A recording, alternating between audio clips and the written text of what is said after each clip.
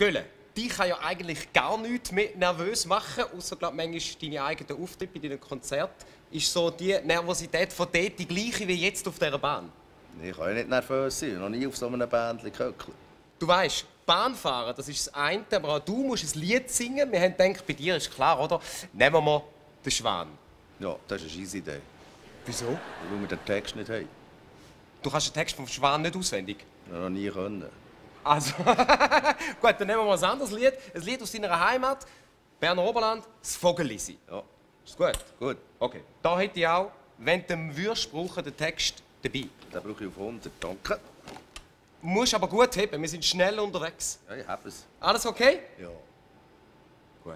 Meine Damen und Herren, der Gölle, exklusiv auf der Blue Fire mit dem Vogelisi-Lied.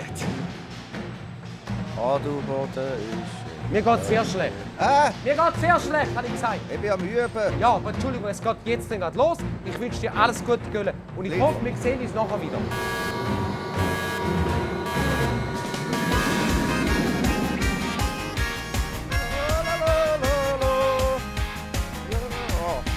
Wenn ich nur wüsste, wo das Vogelisi wär. Das Vogelisi kommt von Adelboden her.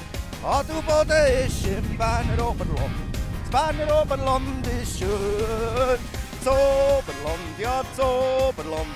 Das Berner Oberland ist schön. Das Oberland, ja, das Oberland. Das Berner Oberland ist schön. Das Oberland, ja, das Oberland. Das Berner Oberland ist schön. Das Oberland, ja, das Oberland. Das Berner Oberland ist schön. Die Jololo. Meine Güte! Jetzt hast du mal eine gute Frisur. danke vielmals. Also gut.